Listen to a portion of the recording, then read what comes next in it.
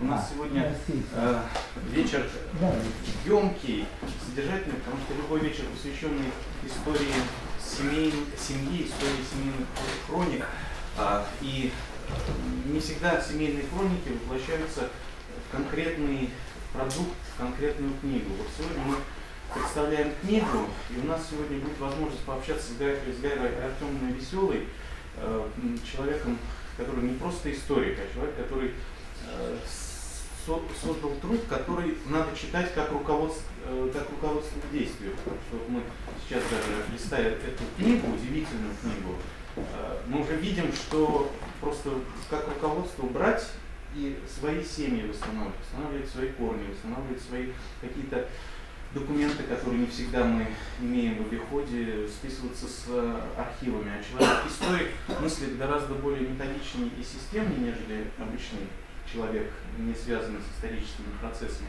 Поэтому я думаю, что нам всем будет полезно а, познакомиться с, Гайра, с Гайрой Артемовной. А также я хочу представить э, Нину Малыгину, доктора филологических наук. И мы с вами тоже будем а, говорить э, уже даже о каких-то более высоких категориях, нежели а, просто книга, нежели история, а видим, на какие-то смыслы, ценности, которые вот в этих пространствах, пространстве музея истории Гулага, ну, наверное, каким-то образом актуализируются. Спасибо большое. Гайра Артемовна, вам слово. Спасибо. Ну, мне придется еще раз повториться. Добрый вечер, дорогие друзья. Я смею вас так назвать, потому что те, кто заинтересовался моей книгой, и те, кто пришел сюда, несмотря на субботний вечер, это, конечно, все мои друзья. Прежде чем начать, собственно, э, рассказывать о книге, отвечать на ваши вопросы, я хочу показать и сказать о, в одном журнале, который, скажу честно, не могу понять до сих пор, как он попал в мою библиотеку. Но это уникальная вещь, уникальная по двум статьям, и вы поймете. Значит, это журнал «Большой город», который издавался в 2002 по 2014 год. Молодежь вот, от, очень откликается на этот журнал. Мы в свое время тоже очень им увлекались, но до сих пор я не поняла, почему его закрыли и вообще он исчез из всех московских библиотек. Этот журнал, как пишет главный редактор, посвящен 30 октября Дню политзаключенного. Здесь он почти целиком весь, он, к сожалению, э, дефектный экземпляр. Здесь не все страницы сохранились, а вот то, что сохранилось, я принесла Хочу оставить в библиотеке музея, надеюсь, что когда-нибудь это станет экспонатом, потому что думаю, что вряд ли еще где-нибудь сохранилась вот такая вещь. Обложку украшает фотография, которая принадлежала заместителю министра э, животноводства РСФСР Зубареву. И чем она необыкновенная, эта фотография, я не знаю, пустить по рядам или так видно, что здесь зачеркнуты химическим карандашом ну, 5, 6, 7 э, персонажей. Это вот замминистра, ну это, конечно, 36 документ ведь подлинный документ. Но это копия, но вообще-то фотография это подлинный документ.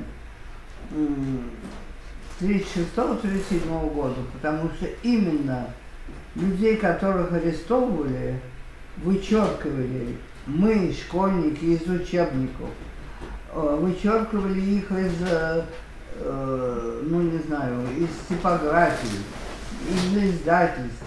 И вот, в частности, этот, к сожалению, он сам тоже погиб в эту мясорубку и тоже был расстрелян. Так что его это вот то, что... Ну, посмотрите, может быть, не видно так? Видно, да? Вот. Но что меня поразило, это то, что действительно почему-то ни в одной московской библиотеке, даже в исторической, нет ни одного экземпляра этого журнала, как будто его вообще никогда и в жизни не было. Это про журнал, я успела сказать, и я рада, потому что меня это тяготило очень. Теперь, э, пожалуйста, кто будет вести? Женечка, пожалуйста, или кто? Э, вопросы задавать будете, или я не знаю как. Я думаю, вопросы. Как будет или кто-то выступит сначала. Э, не, может, Нина Михайловна, Нина Михайловну позовете. Да. Вот ну, а, ну, Тамара, э, это, это, здесь у нас тоже Или хотите, давайте начнем. Хотите, я да. Начало. Я как раз тоже хочу в библиотеку музея подарить свою книгу Евгения, свою книгу об Андрее Платонове.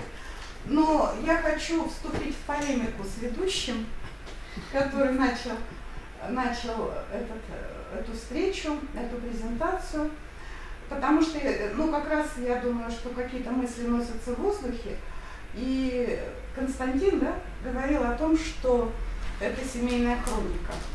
Это семейная хроника, конечно, на первый взгляд.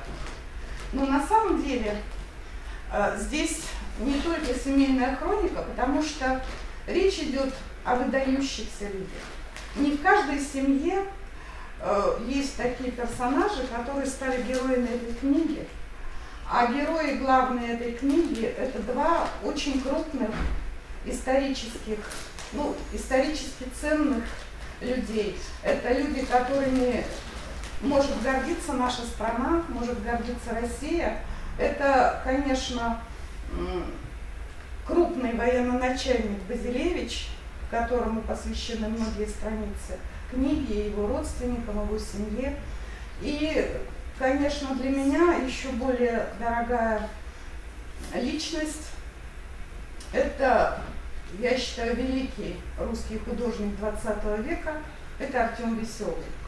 Гара Артемовна э, не просто историк, не просто автор семейной хроники, она дочь, старшая дочь великого русского писателя, который, конечно, совершенно незаслуженно в последнее время, вот здесь очень хорошо Гайра Артемовна показала фотографию с вычеркнутыми с вычеркнутыми лицами. Это символ, потому что люди, о которых она написала, это люди, которые на десятилетия были вычеркнуты, были вычеркнуты из жизни, были вычеркнуты из истории литературы, как Артем Веселый, были вычеркнуты из памяти. И поэтому то, что сделала Гайра Артемовна, э, ну, правильно Константин упоминал такие, у него всплывали такие слова, как уникальный. Действительно, это уникальное свидетельство о людях, которые многие годы были забыты. И, конечно, я очень внимательно читала эту книгу, и хотя я читатель, как вы понимаете, очень опытный, все-таки это чтение серьезное. Это чтение, которое требует сосредоточенности. Это книга, которую можно читать, может быть, ну, по частям, но это очень увлекательная книга. И самая главная заслуга автора этой книги в том, что, ну, по крайней мере для меня, те люди, о которых она написала, они воскресают. Я вижу их живыми людьми, людьми с характерами, людьми с судьбой, Но самое главное, наверное, то, что вот особенно судьба Базилевича, крупного военноначальника, погибшего в 1938 году совершенно, конечно, без всякой вины, э, эта судьба говорит о том, почему, ну, вернее, даже нужно сказать, отвечает на вопрос, который многие ставили себе в начале Великой Отечественной войны, в начале Второй мировой войны. Почему советская армия терпит поражение, почему захватчики захватили так много наших территорий, потому что такие люди, как Базилевич, были расстреляны в 30-е годы. И вот недавно я рассказывала о Гарри Артемовне, я стала читать блокадный дневник Ольги Бергольц. Она пишет, главная ее мысль, она пишет о том, насколько бездарно то руководство, руководство страны, руководство города, руководство армии, которое в данное время находится у власти. И благодаря которому происходят многие потери, поражения, и самое главное, вот в воспоминаниях мужа Гайры Артемовны, который прошел всю войну с самого начала, насколько бездарны были эти военные начальники, сколько бездарно было погублено человеческих жизней именно из-за того, что такие люди, как Базилевич, были расстреляны. И, конечно, э, вот образ Базилевича встает образ исключительно талантливого, порядочного, честного человека, который, ну, можно сказать, подвижнически служил своей родине и получил вот такой финал своей жизни. И я думаю, то, что эта книга написана, и о нем у нас есть возможность узнать, и прекрасно, что в архиве э, сохранились прекрасные фотографии. И замечательно, что вдова Базилевича и его сын, они писали, вспоминали о нем. То есть это необычная семья, в которой хранился семейный архив, очень многое сохранилось. И Ольга Васильевна писала и сохраняла документы, и сама писала воспоминания. И сын Базилевича, муж Кайры Артемовны, написал прекрасную книгу и прекрасные воспоминания. Благодаря этому удалось собрать такую уникальную книгу. Ну и, конечно, я хочу коротко сказать об Артеме Веселом. Это писатель, которого всем нужно читать и перечитывать, его уникальность в том, что когда мы сегодня читаем то, что он написал о гражданской войне, мы видим, что это честный рассказ свидетеля событий. Там нет ничего фальшивого, то, что сегодня не воспринимается, то, что сегодня устарело. И чем больше перечитываешь, вот я говорила, Гарри Артемовне, я перечитала один из замечательных его рассказов «Реки огненные», ну, перечитала, я не знаю, в который раз – чем больше перечитываешь, тем больше открывается и его мастерство, и глубина его проникновения в исторические события. И на очень многие вопросы там находятся ответы. Ну и самое главное, конечно, я хочу сказать об авторе книги, о Гарри Артемовне, с которой, к сожалению, я очень давно хотела познакомиться и, к сожалению, познакомилась вот только недавно. И хочу сказать, что эта книга, во-первых, написана прекрасным языком, во-вторых, она, конечно, написана талантливо. Это не просто хроника, какую вот любой человек возьмет, сядет и напишет. У Гайры Артемовны не только есть опыт историка, она кандидат исторических наук, она исследователь, она ученый, но она еще и очень хорошо пишет. И читать ее, конечно, очень интересно – ну и особенно, вот, э, находясь в музее ГУЛАГа, нужно обратить внимание на ту тему, которую она затронула. Это тема репрессированных детей, врагов народа, которые совсем юными попали, попали в тюрьму, прошли вот этот жуткий путь в ссылку или в лагерь. Все это она описывает с большими э, бытовыми подробностями, которые драгоценны, потому что мы себе представляем, в каких условиях все это происходило, в каких условиях они находились в камере, в каких условиях они ехали в поезде, в какие условия они попадали в ссылки. И самое главное, что это было не так уж давно. Все это происходило. И, конечно, это очень, с моей точки зрения, ценно, интересно.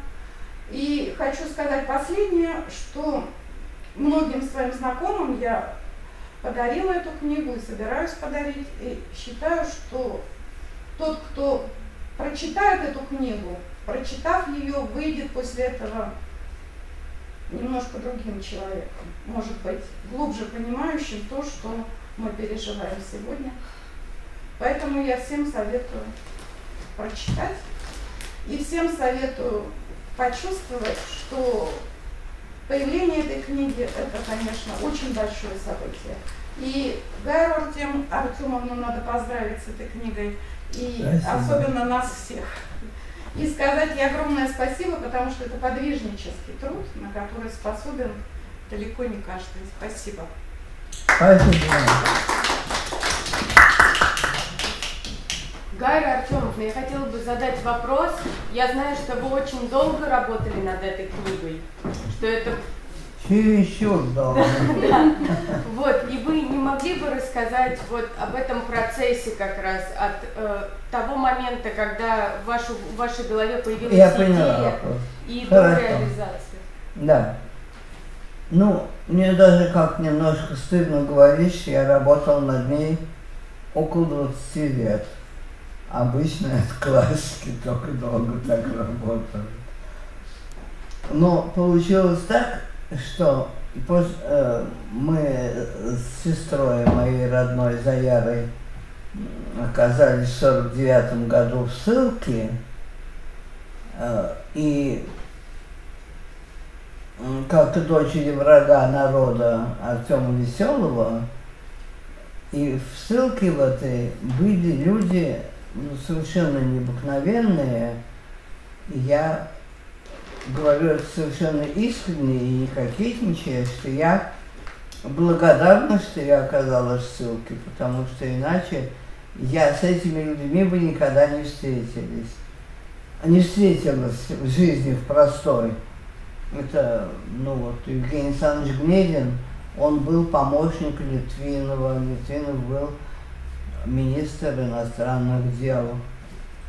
Э, там был э, Эйснер Алексей Владимирович, который э, принял участие в испанских событиях, когда была испанская война, он пошел добровольцем из Франции, он жил во Франции, пошел добровольцем в интербригаду и был адъютантом знаменитого Маты Залки, он там Лукач, известно. Вот.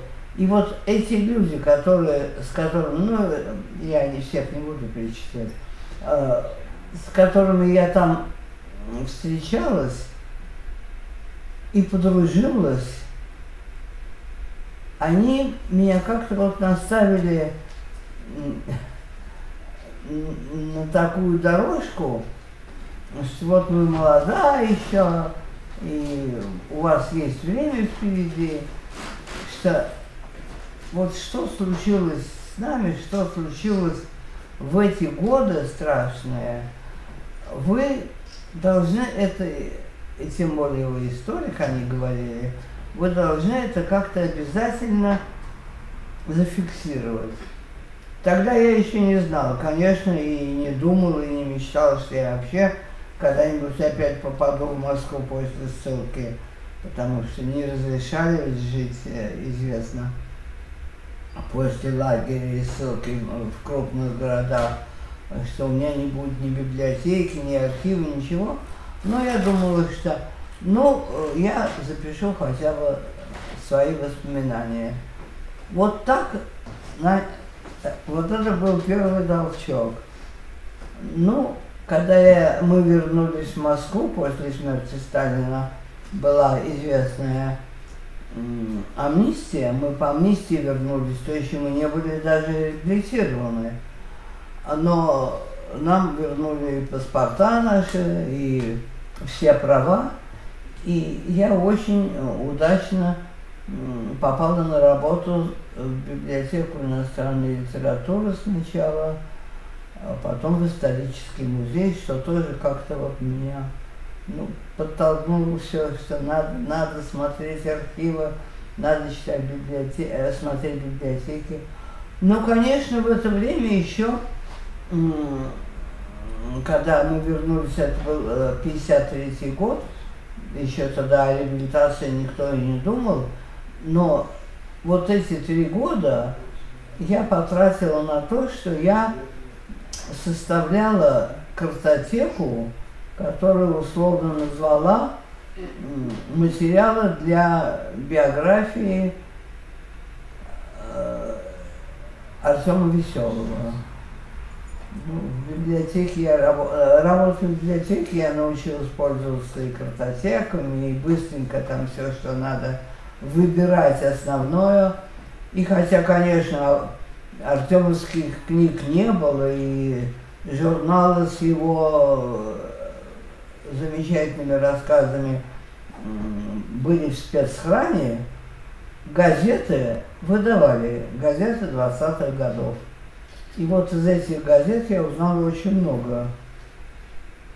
Я узнал, что Артем был э, один из организаторов Э, группы, литературной группы «Молодая гвардия», которая потом стала э, издательством «Молодая гвардия». Они принимали вот комсомольские поэты, Безыменский, там, Светлов и другие. И, кстати, Платонов, э, они принимали участие в, вот, в создании журналов которые ну, в то время были от такой отдушиной литературной для многих. А потом, когда уже Артема реабилитировали, э, и реабилитировали э, Базилевича, и, ну, в общем, стала уже массовая, массовая реабилитация. В 1988 году вообще уже реабилитировали почти ну я бы сказал, не глядя, всех подряд. Вот. И э, тогда я стал добиваться спецхрана, написала в архив ФСБ. Кстати, очень любезно они откликнулись. Дали э, революционное дело посмотреть, а это фактически цитация была у них э, следственного дела, так что я многое узнала, и это не было большим подспорьем. Ну, потом пошли книги, стали печатать непечатанных писателей. Это тоже мне дало материал и дало как-то силу и уверенность, что когда-нибудь Артем будет снова известен не только в энциклопедиях литературных и больших советских, но и вообще станет известен читателю. И вот интересно, это уже немножко в сторону, но интересный такой казус. Э, первое посмертное издание Артема было в 1958 году. Это был такой вот толстенный том, как эта книга, хотя она толстая, э, где была Россия кровью мытая, Гуляй Волга и несколько рассказов. Но это все трудами Заявы была создана комиссия по литературному наследству, откликнулось несколько оставшихся живых бывших Э, плохо слышно, да? Нет, нет, хорошо. Нет, нет, э, бывших друзей Артема, которые тоже прошли сквозь э, все эти э, э, тюрьмы и ссылки. И тогда уже я э, получила материал совсем живой. Вот, я подружилась с писателем Алексеем Костериным, близким очень другом Артема, который мне очень много рассказал, и я, конечно, его записала, и он написал потом свои воспоминания, которые были опубликованы. Но вот общение с человеком, с которым я общалась, даже оказалось и при Артеме, это тоже мне как-то меня поддерживало. Но не могу сказать, что я 20 лет сидела и неотрывно писала. Конечно, были и э, другие вещи. Я диссертацию, только не, не докторскую, а кандидатскую, мне послышалось докторская. Нет. Вот, я защитила. И работа в историческом музее меня очень увлекла по многим параметрам. Но в общем все время, конечно, на моем письменном столе стояла пишущая машинка, и я всегда знала, что для меня вот главное и самое главное – это успеть написать книгу, которую я задумала. Вот так случилось, к счастью, для меня, не знаю, как там для читателей, что я эту книгу успела написать и успела увидеть ее изданной. Это большое дело Тамары Леприной, как автор. Ну вот это так вот, коротко. Вы говорили о процессах реабилитации, амнистии, о восстановлении прав, прав самого Артема Веселого. И вот я хотела бы попросить вас рассказать историю объединения семьи в 1961 году. Ну и, собственно, вот, может быть, вы расскажете про свои отношения с братьями, сестрами и, собственно, с самим Артемом Веселым, ваши детские воспоминания. То есть вот именно то, в чем заключается та семейная хроника и ваши теплые воспоминания да. о семье. Он, значит, я себя помню очень рано. Наверное, с трех лет. Эти первые годы с года, ну не с года, а с рождения до восьми лет я жила у родителей Артема на Покровке в общежитии писателей «Молодая гвардия», Покровка, дом 3, дом часто. Вот его бы хорошо показать, конечно. Это дом необыкновенный, э, потому что там жили большие писатели, а приходили-то туда и Маяковский, и Шолохов, и Крученых, забытый тоже поэт. Вот. И я вот помню, первые такие мои воспоминания самые, это как Артем э, и дядя Вася, это его родной брат, он привез э, родителей его брата из Самары. Они там э, жили, и э, он там родился. Э, везет на санках на чистые пруды. Чистые пруды – это моя первая такая яркая картинка замечательной жизни. Вот помню, как меня ставит фотограф на стул. Есть эта фотография здесь. Дядя Вася с одной стороны, Артем с другой. И они меня сфотографировали. Ну, я, конечно, не понимала, что такое фотография, но я была рада, что рядом со мной, и как-то мне это меня очень грело, и папа, и дядя Вася. А папа у нас на Покровке с нами не жил, потому что была сначала одна комната, и пятерым там было тесно. И вот мама в своих воспоминаниях говорит, что когда родилась Гайра, э, некуда было поставить кроватку. Действительно, там все было уже уставлено, заставлено. Поэтому там работать ему письменный стол негде было поставить. Он жил в общежитии на Домниковке.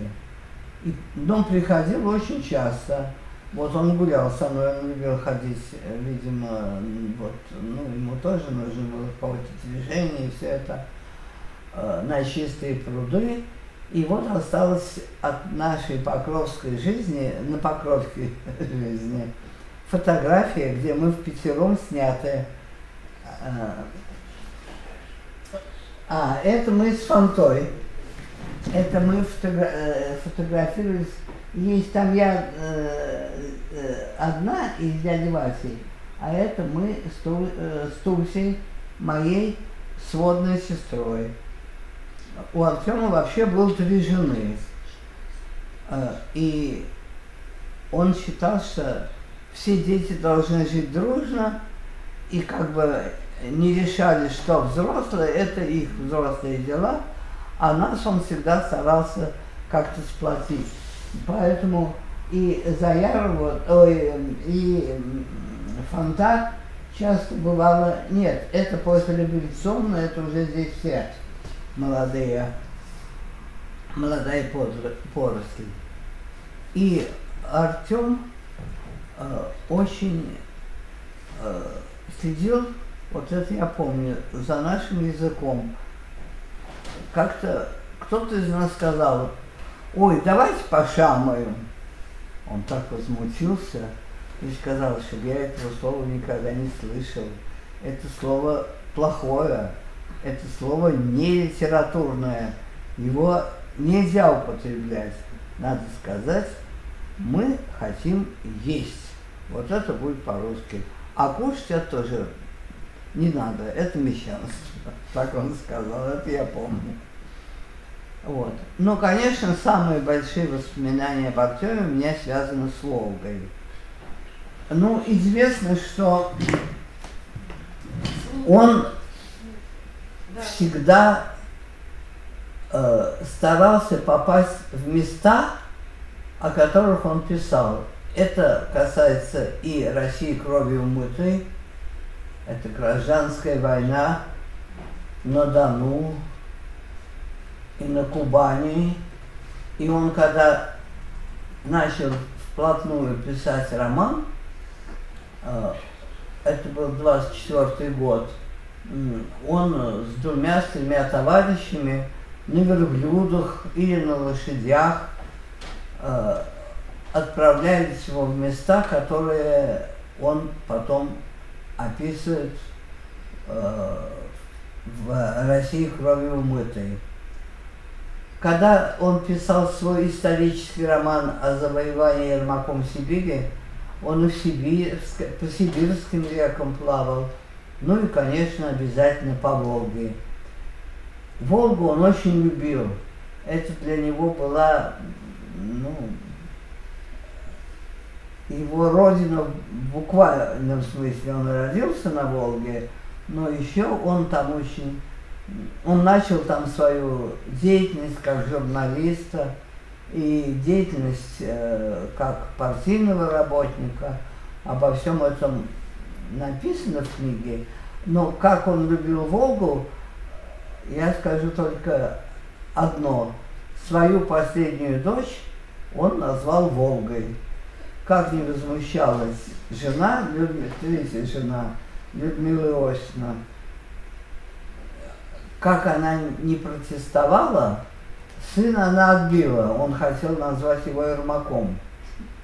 А, она назвала его Лев и дала свою фамилию. А вот э, дочку Артем назвал по-своему и она была Волга Артемовна. Но она, к сожалению, очень рано умерла. В 1957 году при родах 1 мая никто не рожается. потому что врачи были пьяные, и, ну, в общем, они ее убили фактически. И вот с Волгой, я говорю, очень много связано Артема и путешествий, и его работы. Он, вот последняя его книга «Частушка колхозных деревень», он специально ездил по селам э, небольшим таким хуторкам даже, э, вол, волжским, и записывал частушки. А я была на Волге три раза. Первый раз это был 32 год, когда Артем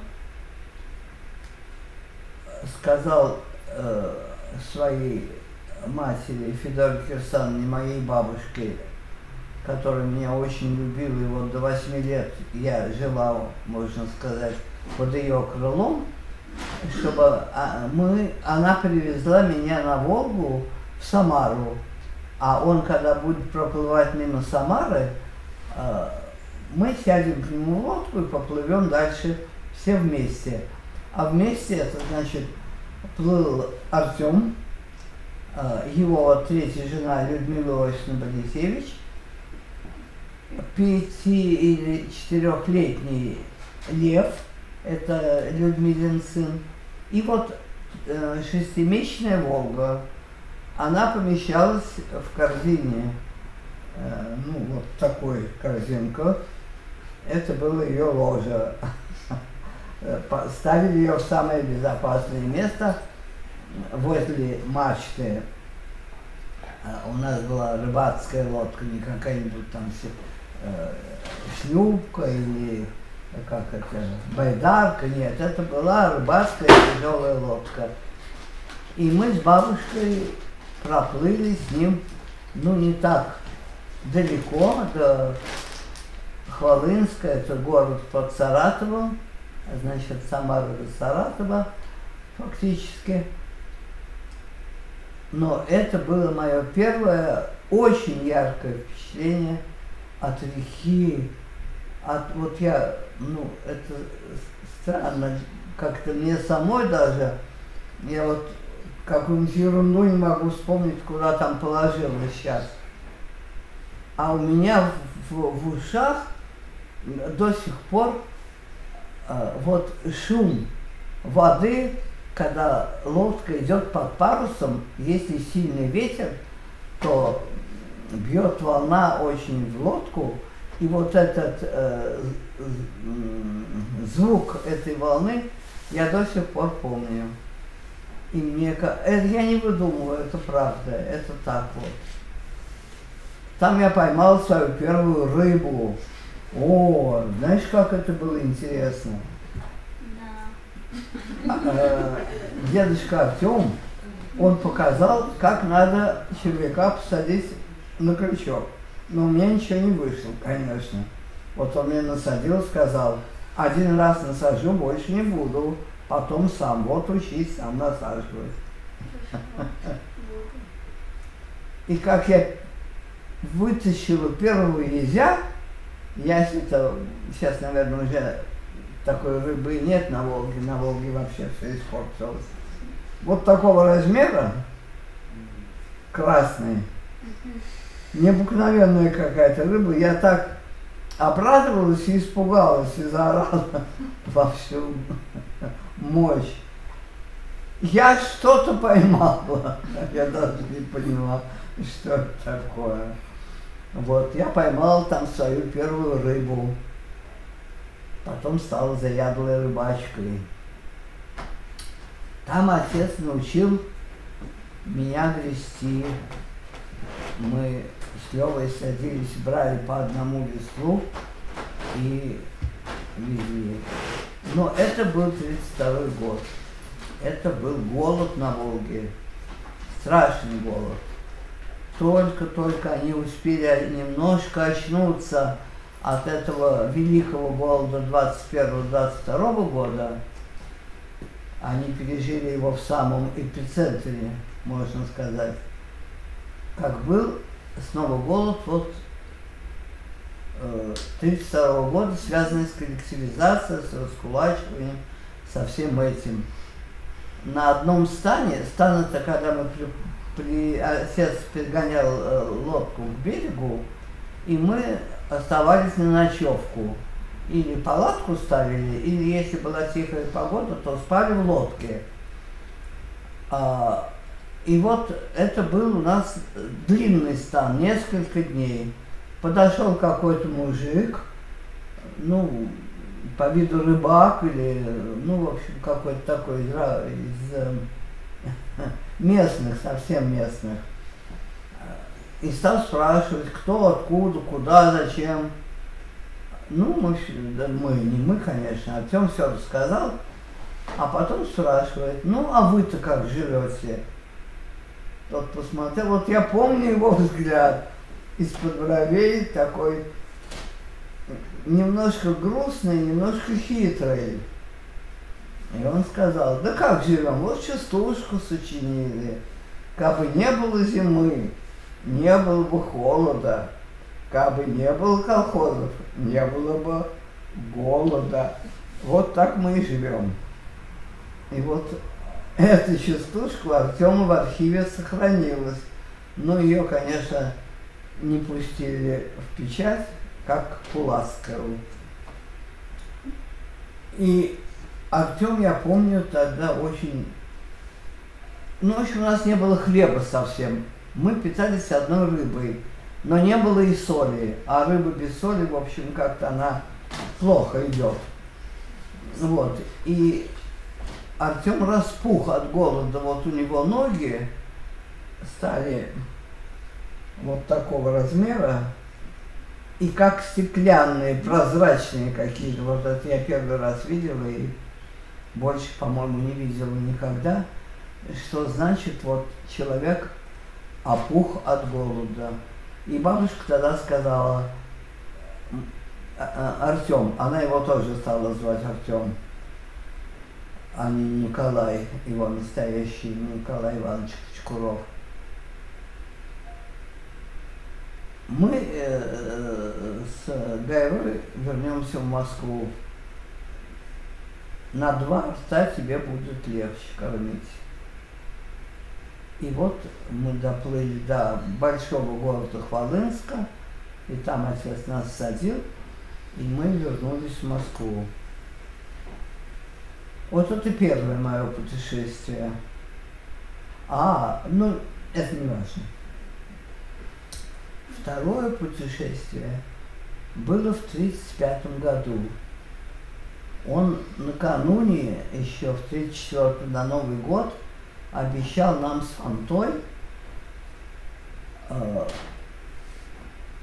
э, подарить нам Волгу, если мы хорошо закончим сколько-то нам в 1935 году было? 11 лет. лет. Это четвертый, пятый, пятый класс, наверное. И действительно, он нас взял на Волгу и ее подарил. Потому что мы поплыли с верховьев Волги, город Кинешма, и доплыли до Астрахани. Три месяца мы были на воде, э, на волжских просторах, испытали все мыслимые и немыслимые погоды, которые только существуют, и дожди, и бури, и такие бури, что мы чуть не погибли, нас стало захлестывать э, лодку. И интересно, вот я сравню две, два наших путешествия в 35 и в 37 году. Вот в 35 году Артем плыл, ну, как известный писатель, как московский, ну, его уже называли там по-всякому, и, и самый главный, и лучший, и все. Он заходил в редакции газет крупных городов – Э, и э, брал нас с собой.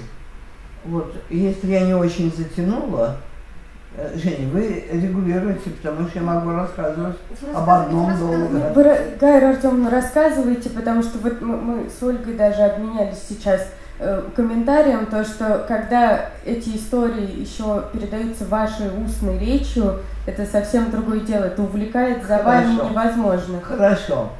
Ну, в общем, он был как э, король. Его везде принимали, его везде чествовали, появлялись в газетах заметки и большие статьи, что вот плывет Артем Веселый с двумя дочерьми, школьницами, и как мы там загорели, и как мы туда и сюда. И вот э, эта фотография здесь осталась, да? Мы на диване сидим. Это Ульяновские. А, Ульяновская правда, и там Троепольский был его хороший знакомый. И вот а, Артем пригласил несколько человек из редакции, в том числе вот я запомнил Троепольский, может потому что сохранилась фотография. А, На рыбацкую уху. И вот э, что такое рыбацкая уха, те, кто уже э, не первый раз должны еще раз послушать, к сожалению. Но я хочу рассказать, потому что все-таки здесь есть и новые слушатели. А, И вот в пять часов, на пять часов он пригласил, мы смотрим, через Волгу плывет лодка. Вот точно, как называется, плыть по струнке. То есть не так вот вихляет или что, а прям вот плывет. Мы поняли, что это к нам гости едут. А у нас уже было все готово. Парус служил скатертью на песке, большие лопухи тарелками, ну, миски были. И Артем сварил рыбацкую уху. А рыбацкая уха настоящая. Ой, я по ней тоскую. Мы ночью ловили рыбу для этой ухи. Ловили ее мы, я говорю, потому что бреднем. Значит, бредень – это сеть на двух палках. Ну, как волейбольная сетка, но только с палками. И вот Артем идет в глубине, мы с Антон держимся за эти палки, и э, за палку я вру, вот за палку, за одну держится Артем. И вот мы идем вдоль берега, и рыба, которая причалила к берегу, попадается к нам в сеть. И вот интересно, как ведет себя рыба, пойманная в сеть, вот так же, наверное, ведут себя люди, пойманные в какую-то ситуацию, так я думаю. Вот есть рыба, которая вот она ткнется носом в сетку, и уже все, она больше не движется, она чувствует, что она попала в сеть. Это в основном стерлядь, самая лучшая рыба на свете, которую сейчас перевели на Волге эти ГЭС. А щука, например, она будет биться до последнего. Она сначала пробует прокусить бредень, не получается. Тогда она свивается в кольцо и прыгает через верхнюю веревку и оказывается на свободе. Вот это характер щуки, она будет биться до последнего. Вот так некоторые люди тоже, мне кажется, в самых тяжелых условиях не позволяют себе расслабиться, а бьются до последнего. Для нас тоже был хороший урок. Но рыбацкая уха э, варится так. Сначала варится ну, мелочь всякая, и то, что я сказала, плохая, а мне, э, меня спросили, что она протухлая, что ли? Она не протухла, она плохая, она не считалась нужной для этой ухи. Бульон оставляли, юшку, уху, саму а это выбрасывали. Второй раз то же самое. И только в третий э, заход пускали стерлядь и хорошую такую, ну самую хорошую, очень любили, сейчас забуду как называется, неважно.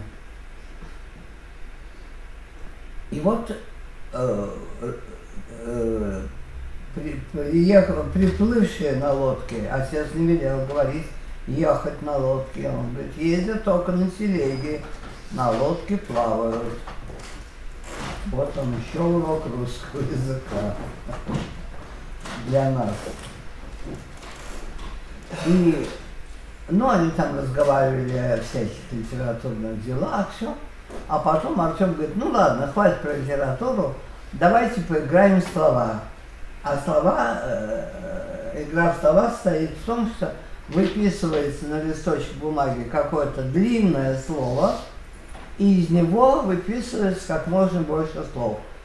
Когда мы очень пижонили, мы разрешали себе только четыре слова, чтобы, то есть четыре буквы в слове было, не меньше. Ну а когда уже так на людях вроде, то можно было и три буквы. Ну вот какое-то слово я сейчас не помню. Можете любое мне дать слово. И вот мы стали выписывать, мы всегда с Фантой и, э, играли с Артемом, он писал отдельно, а мы отдельно вдвоем. И вот кончили, все слова выбрали, кто-то последний говорит, больше слов нет. Подчеркнули, что больше никто не, не жил, ничего не дописал. Ну, прочли все слова, все слова вычеркнуты, все слова были у всех. И только двух слов не было ни у кого, кроме нас с Фонтой. И эти слова были ум и тема. И Артем смеялся, он очень редко громко смеялся, очень редко, я просто не помню даже случаев таких, что много. А здесь он засмеялся и сказал, хороши мы писатели, ни ума, ни темы. Ну вот, потом мы останавливались в Самаре. Он э, э, нас не брал туда. А, ну, я не буду про эту бурю, в, которой мы чуть не погибли, когда плыли обратно. Мы остановились стадом напротив э, Самары, огромная отмель на несколько километров назывались Пески. И вот мы стали большим станом на этих песках. Тут фотографии есть, где мы чиним сеть. Мы действительно ее чинили. Вот, вот мы, вот Артем, это его обычный наряд. А это бредень. А, мы штопали, научились пользоваться рыбацкой иглой, которая чинит и плетут сети. Вот повыше фонда, пониже я. Отец на сам стриг под горшок назывался. То есть ставили горшок на голову раньше. И стригли. А он так, под горшок давайте стригу вас. Но это не постановочный э, снимок. Это приехал к нам Абалкин, был такой известный в Самаре журналист, и, ну, разговаривали мы там долго с Артемом, а потом он вас нас так сфотографировал и написал очерк у костра Артема. Она был, э, он. Очерк был опубликован э, в Самарской газете. Потом мы останавливались в, Са в Саратове. Там очень интересно Э, ну, Саратов такой арбузный город, туда очень много барж приплывает с арбузами из Астрахани. И там переваливают на железную дорогу и везут в разные города. И вот э, мне запомнился, как э, разгружали баржу, ребята, дети небольшие, ну вот, может быть, 12, ну, 12 лет. Артем сказал, вот я тоже, когда был таким, Я работал грузчиком тоже, на, разгрузчиком на, в Самаре, на, на, когда баржи приходили. И вот эти ребята кидали арбузы в воду. И там большое количество народу собралось. Все, кто хотел, мог этот арбуз отчалить себе на берег. Вот. И парочку арбузов нам досталось в лодку.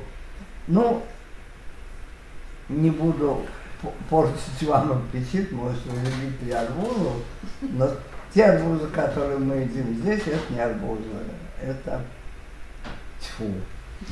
А вот астраханские арбузы, это арбузы.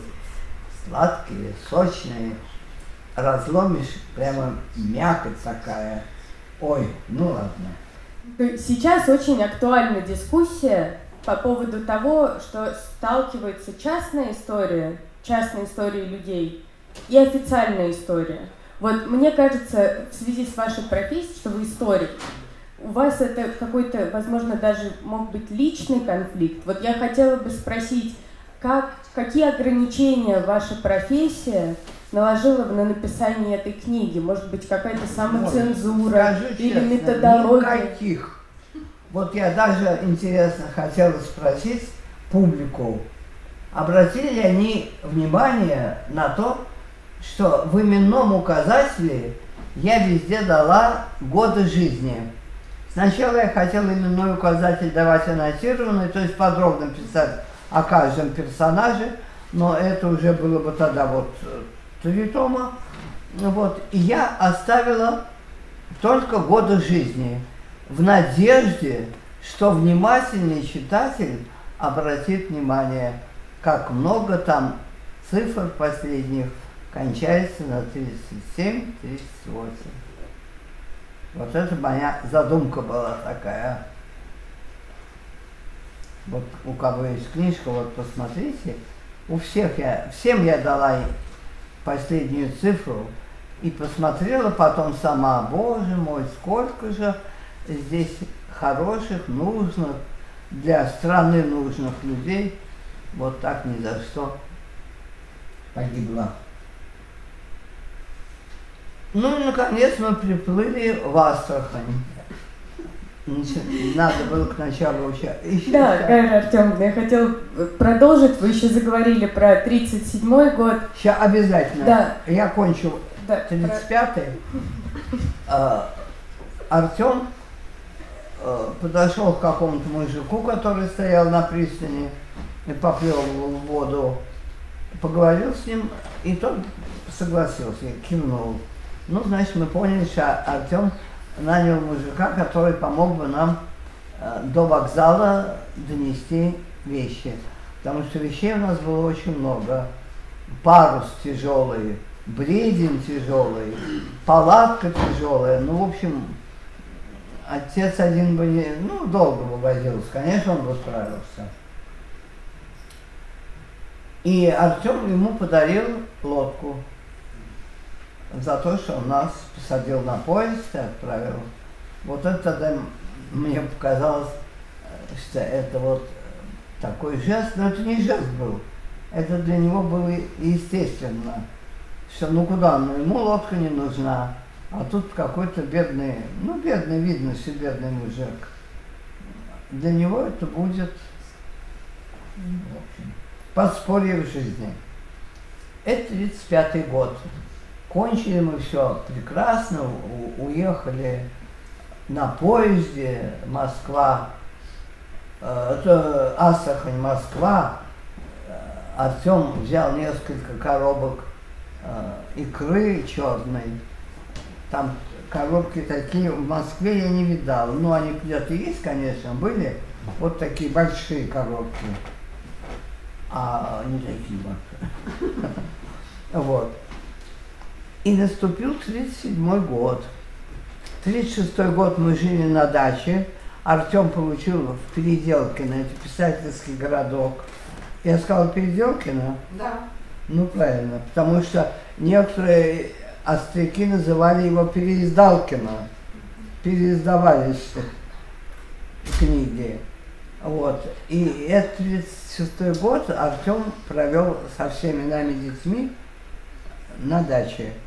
А в 37-м мы поплыли опять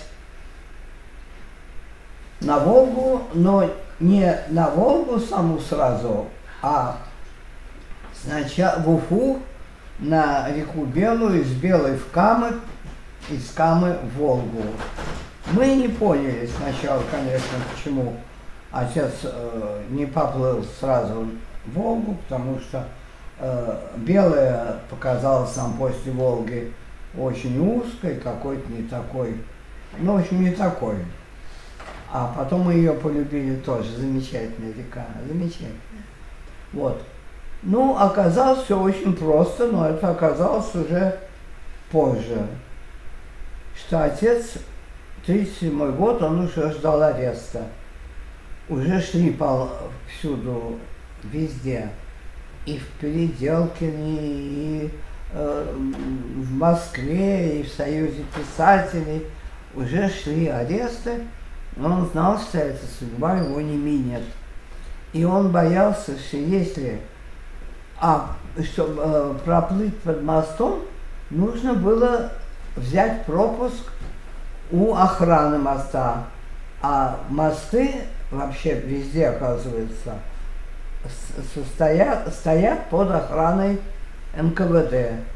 И он думал, что если его собираются арестовать, то и знают, что он поплыл по Волге, то уже на все мосты, там не все, там два моста были, дали знать, что плывет Артем Веселый, его арестуют, и куда мы денемся с этой лодкой, с этими вещами, и вообще, ну, такие маленькие еще, в общем. 37 год, это мне 13 лет, а в Франце там не было еще, она была младше меня немного. Ну вот, и поэтому мы, э, то мы, я все говорю мы, потому что я как-то ощущаю себя еще там, когда рассказываю.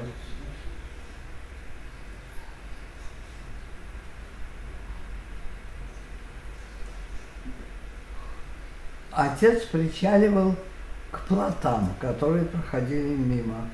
Ну, плоты это, э, значит, обычно по Волге самосплава не было, по мелким рекам, вот э, по меньшим рекам, и по во, э, Белой и по Каме были такие плоты связанные, но они плыли сами по себе без людей.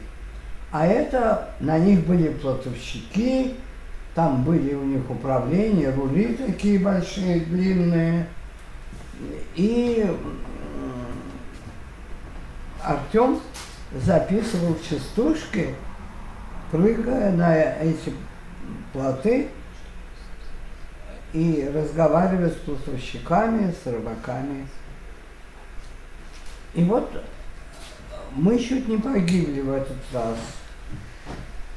А, нет, с нами плыл Костерин, вот, э, о котором я сказала, что друг Артема был, с которым Алексей Графович, э, с которым мы подружились после реабилитации его и нашей. А, он плыл с нами от Хвалынска до Саратова. Ну, Артем сказал, что с нами поплывет вот мой хороший друг, приятель, а, участник гражданской войны. И вот он нам ужасно понравился. Он рассказывал про то, как его, э, он еще учился в гимназии, э, арестовали за то, что он участвовал в революционном кружке в последнем классе гимназии. Гимназии, по-моему, а может быть, училище какого-то, вот сейчас забыла рассказывал, как он на Кавказе воевал. А судьба потом, интересно, свела Базилевича с некоторыми людьми, которых хорошо знал Костерин, свела на Кавказе. Базилевич был командующий Кавказским военным округом в 1920 году, в конце гражданской войны. Вот. И вдруг ночью мы спали, даже не проснулись, это потом уже рассказал Алексей, и врач нам, он проснулся от страшного треска, как будто где-то работают пулеметы. Он вскочил и увидел, что плоты сели на мель, надвинулись на песок, на мель, и начали, э, э, это они назывались челения, вот когда несколько длинных бревен вместе связываются, и получается такая одна платформа. И вот эти челенья, связки эти, лопались, и э, бревна поднимались на, на высоту, ну, я не знаю, несколько метров.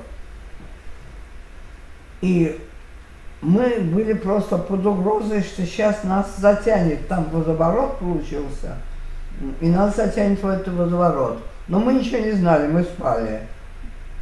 И пробегавший мимо Платагон крикнул Алексею, отчаливай смелит, то есть смелит, как муку. И от, э, сбросил э, веревку с крюка, на которой она, за которой она была зацеплена. И вот тут Алексей рассказал потом, что он себя ощущал, как во время одного боя с Деникиным, когда деникинцы белые, э, их уже стали теснить, и они выходили, ну, буквально из-под огня.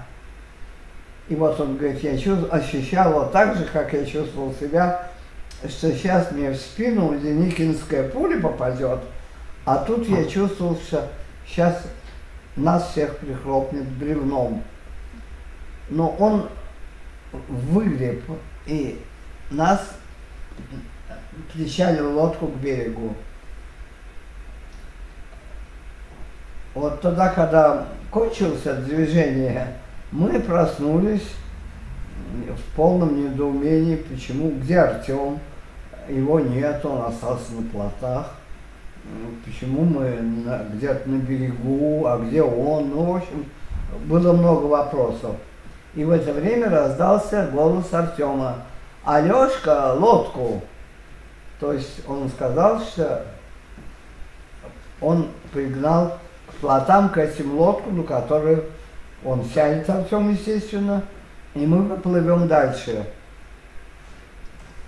И что э, э, Заяра Малолет записала эту фразу, когда я рассказывала, и в нашу с ней книгу, мы написали Заяра еще книгу «Судьба и книги Артема Веселого», как Артем, первые слова, которые он сказал, не там, не как девочки, инициалы, лодка, в общем, как все было, он сказал, ох, какие я частушки здесь записал. Вот для него было творчество, для него это было очень важно, что он записал хорошие частушки, а это все быт.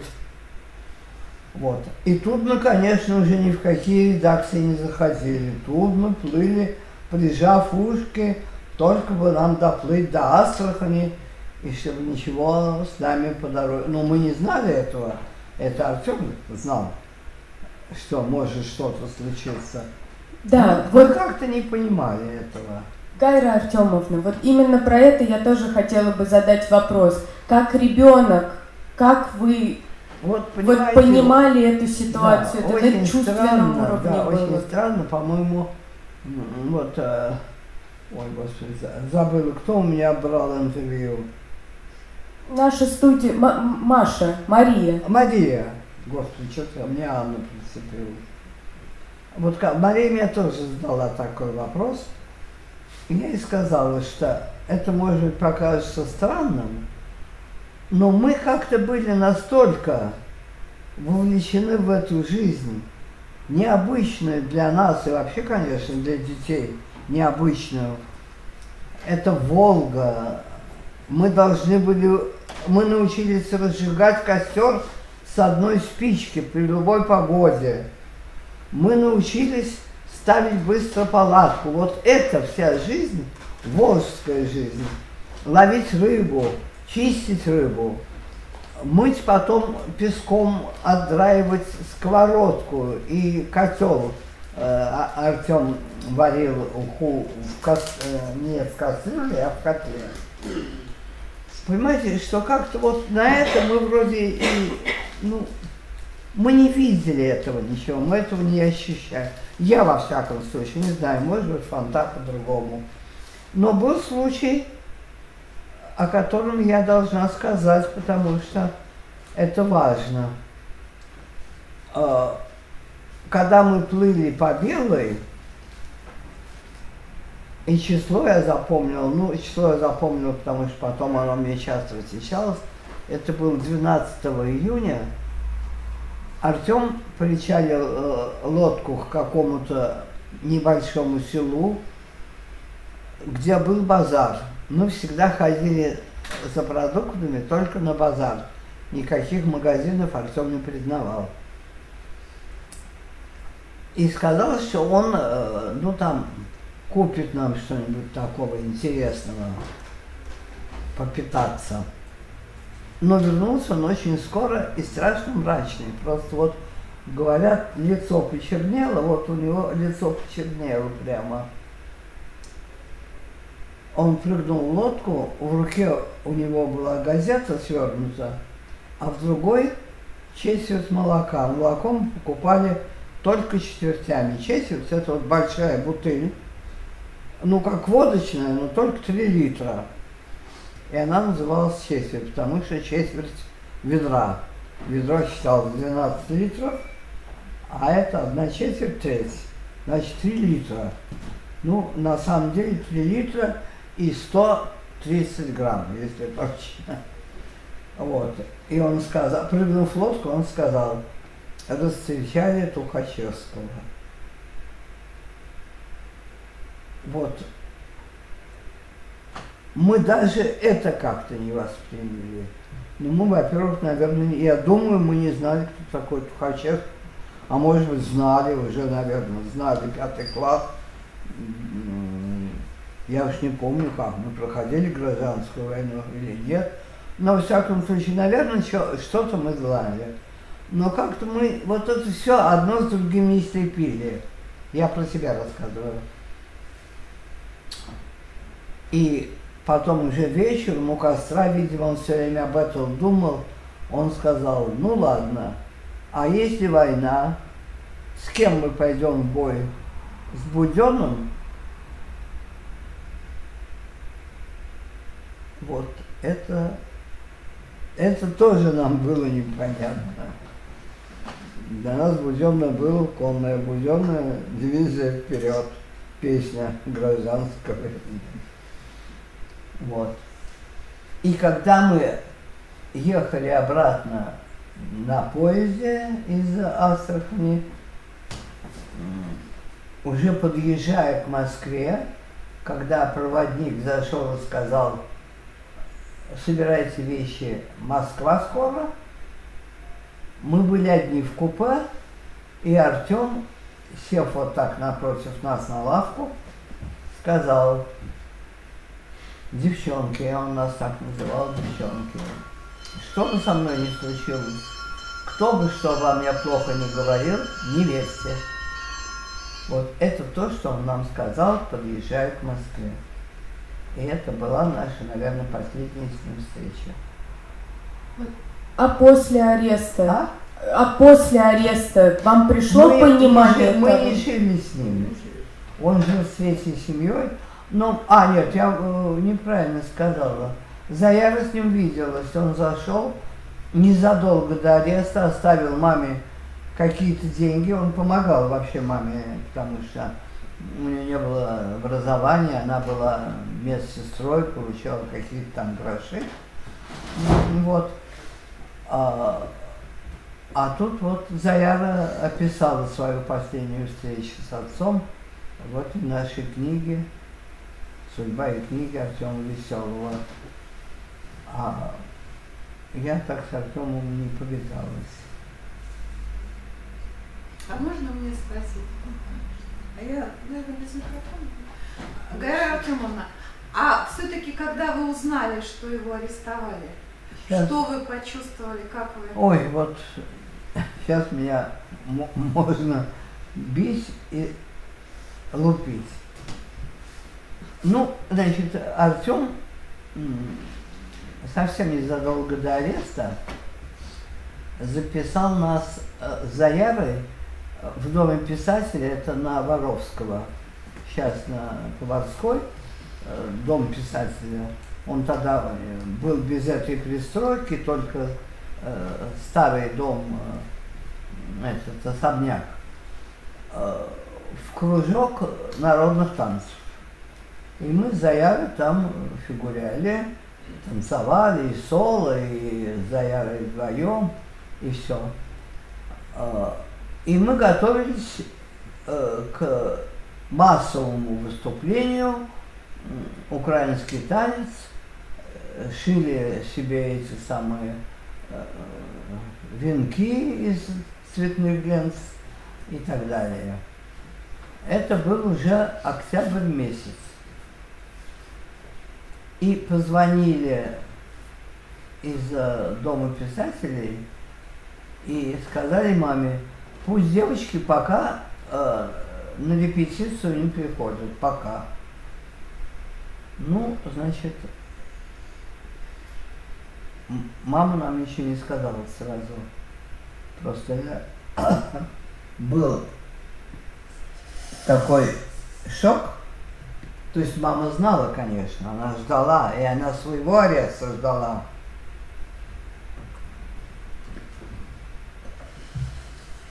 Но все равно это был страшный удар, конечно. Потому что она понимала ну, значение Артема в русской литературе, скажем так. Она нам сначала ничего не сказала. А потом она не решилась даже нам сказать. Она позвонила бабушке и сказала бабушке, что Артем арестован, позвони девочкам, я не могу. И бабушка позвонила мне и сказала, вот, ну я точно слова я не помню, я их не буду выдумывать, но смысл был такой, что папу арестовали, ты не волнуйся, ведь очень многих арестовали, будут разбираться и отпускать. Это, наверное, то есть э, это какая-то ошибка. Вот так бабушка меня утешала, чтобы я не волновалась. Но вы понимаете, вот я, когда это услыхала, вот мама напрасно боялась, что я там э, впаду в какой-то транс или в истерику или еще что-то. Я как-то это восприняла довольно спокойно. Может быть, потому что я тоже подумала, что будет, э, будут разбираться и что все кончится хорошо. Или потому что я поверила, что отец сказал, что ну, он не сказал со мной ничего не случится, а наоборот, он сказал, если со мной что-то случится.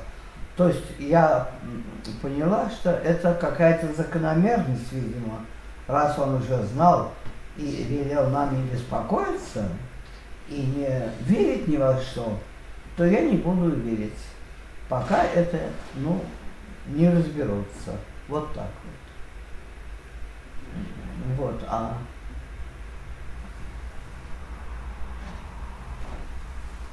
Кайра Артемовна, а как складывались отношения со сверстниками после ареста? Вот другие дети как Ну, сейчас я воспринимали скажу, что это? Только очень коротко, потому что это я могу долго рассказывать.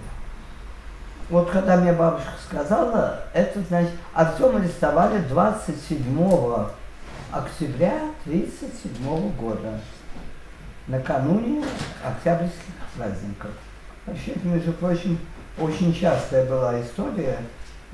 Я уже когда была на Лубянке, в Бутырках, э, я поняла, что очень многие были арестованы именно вот в какие-то революционные праздники. Почему-то, ну это какой-то, я не знаю, садизм что ли был, ну не знаю, почему так делали. Нельзя было за три дня или через три дня после, надо было именно в ночь вот на это, на это число. Ну, Артем немножко раньше.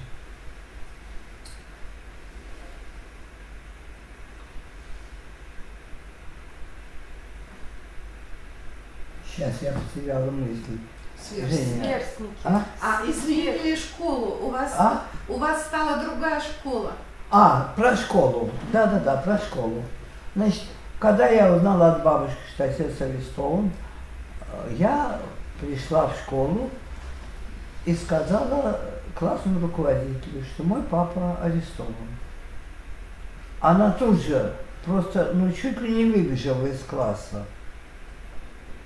И очень скоро после нее зашел директор и сказал мне, Гайга, больше в нашу школу не ходи. Скоро каникулы, подыщи себе другую школу. А я училась в школе вместе с Булатом. И я как-то опешила совершенно. У меня там были подруги, и с Булатом мы как-то, в общем, хотя он говорил, что он меня боялся, потому что я была старостой класса, и когда он начинал очень шуметь или там безобразничать, я ему делала замечания.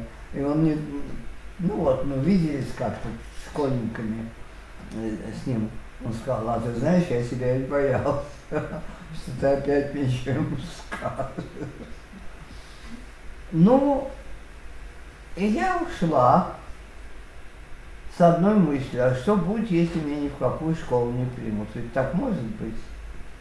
Маме я ничего не сказала, потому что я не хотела ее нервировать и добавлять ей. Вот я знала, что у меня с горлом что-то будет.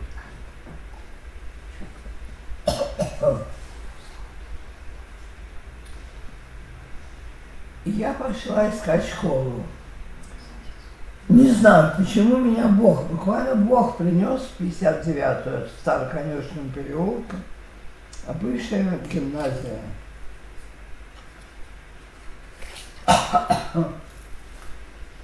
И когда зауч Евгений Николаевна Жудров меня спросила, что ты вдруг посредине учебного года вздумала менять школу, я ей сказала, мне сказали вот то-то и то-то. Она мне сказала, ни о чем не беспокойся, спокойно учись, ты ни в чем не виновата. Вот эти слова «ты ни в чем не виновата», в то время, когда вот из другой школы тебя выгоняют, и вообще боялись, конечно, говорить, что дети ни в чем не виноваты, как потом стало известно, они были даже очень виноваты. Я этому тоже много посвятила места в своей книге, как детей репрессированных и раскулаченных тоже мутузили. И вот я проучился в этой замечательной школе. Школа еще сохранила несколько учителей из гимназии. Там были либеральные, совершенно либеральные отношения между учениками и учителями. Там никогда не посмели на ученика повысить голос, а сейчас говорят, даже бьют линейками по рукам. Это вообще да, вот, кстати, насчет наказания я должна тут сказать. Мама никогда нас не наказывала. Я даже не знала, что такое наказание. Не представляла себе. Иди в угол. Тебя ставят угол иногда мама, да? Когда ты плохо себя ведешь. И Никиту ставят. А я узнала это только от одной девочки, одноклассницы в четвертом классе, когда она сказала, что меня поставили в угол, я не, не вымыла посуду. Мы этого не знали. Ну, не знаю, хорошо это или плохо, во всяком случае здесь никаких таких вот наказаний там вон из, из класса, вон из школы, что-то такое. Такого не было. Разговаривали всегда как-то. Ну, и даже когда вот я задумала издавать литературный журнал и пригласил туда Булата, и он написал стихотворение. Комсомол нам запретил издавать этот журнал. А там забрал его. А совсем не учителя и не администрация школы, а именно комсомол. Так пропал мой журнал. Самоздатский. А? Пауза. Пауза нужна тебе? Пауза. 10 Палку, минут. палку я возьму. Да нет, пауза. Перерыв. Пауза. Перерыв. Перерыв. Нужен? Перерыв. Перерыв. 10 минут перерыва тебе нужно? Не надо мне перерыв, я и так уже перебрала. Или 10 минут осталось всего до 6 часов. Давайте я еще лучше что-нибудь расскажу, чем э, будем отдыхать. Если вы устали, отдыхайте, пожалуйста. Я буду болтать дальше.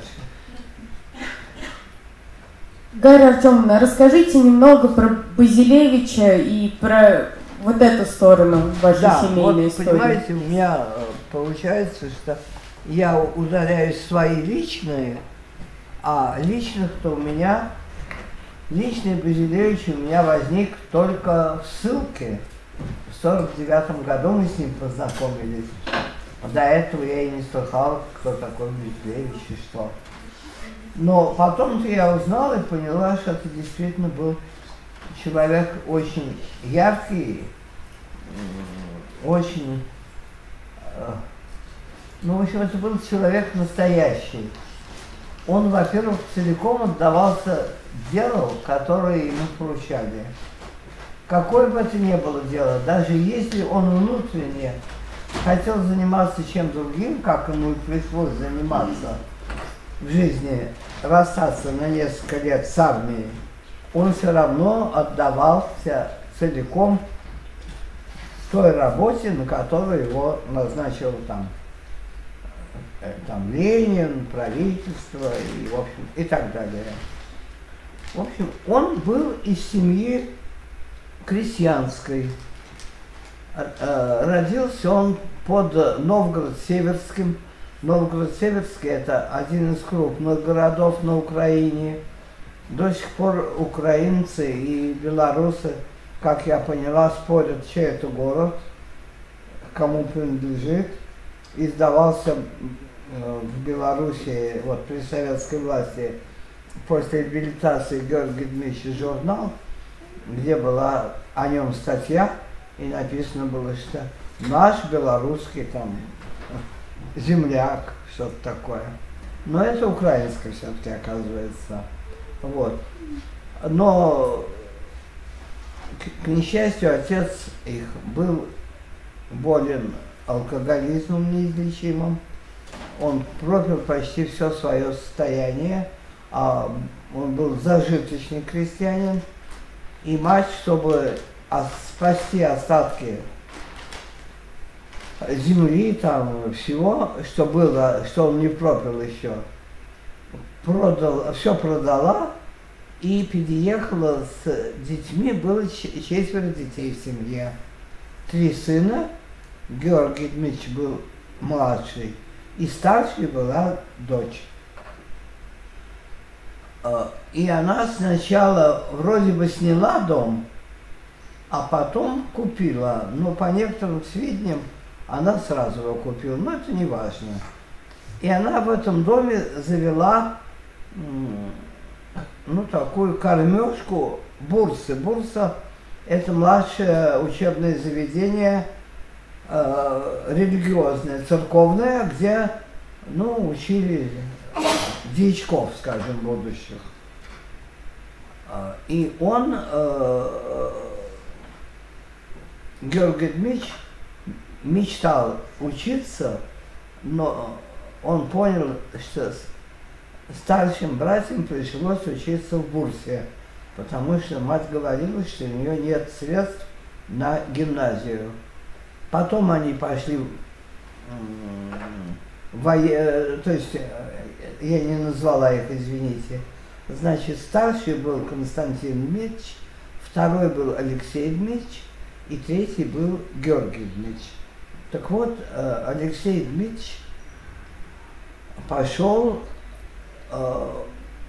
военное училище, а Константин Дмитриевич пошел в духовную семинарию. И он ее кончил и готовился стать священником. Но в это время случилась романтическая история. Он влюбился в девушку благородного происхождения, дворянку, и родители, конечно, были против, чтобы их единственная дочь была замужем за, э, ну, дичком, как они сказали. И тогда э, Константин Дмитриевич резко поменял жизнь свою. Он снял все церковные регалии и поступил в военное, тоже в военное училище. И тогда, э, когда пришло время учиться Георгию Дмитриевичу, он сказал матери, что он готов ну, все делать, помогать ей в хозяйстве. Ну, что она скажет, он все будет делать. Будет как работник у нее.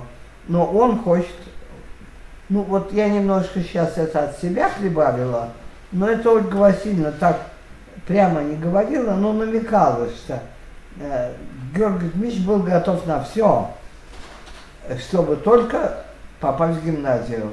И она ему разрешила, и он стал действительно ей большим помощником, и это он написал в своей биографии, что с четвертого класса в гимназии он стал давать уроки уже и помогал матери.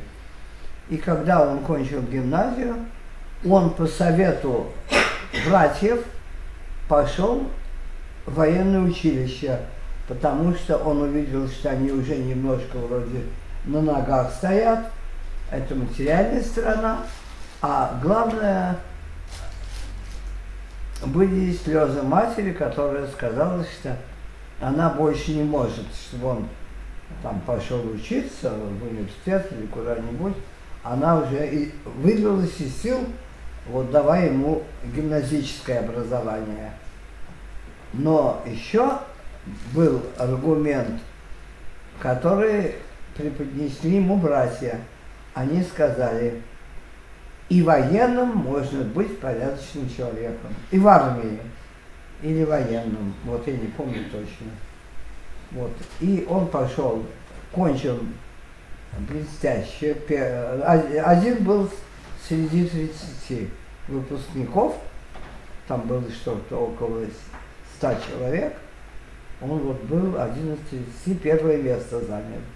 И поэтому ему его распределили в Москву, не в какой-то там заштатный город, а в Хамомические казармы, где а, вот эти Хамомические казармы, где тогда квартировал третий гренадерский полк.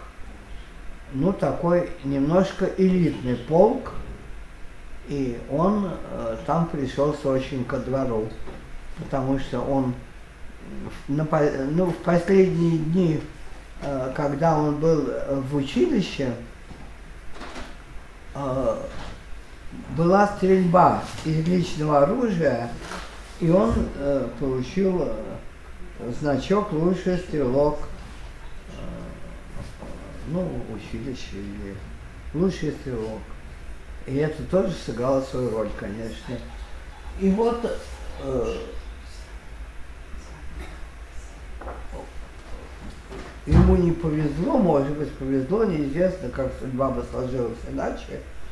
Но он хотел, конечно, когда началась война, идти, с, хотел бы, но ему не пришлось идти с этим гренадерским полком, потому что он потерпел аварию при экзам... полетах экзаменационных. Он в школу поступил в летную, он мечтал быть летчиком. Вот. И он здорово разбился. И он встал на ноги более-менее окреп только в 18 году, уже после Октябрьской революции.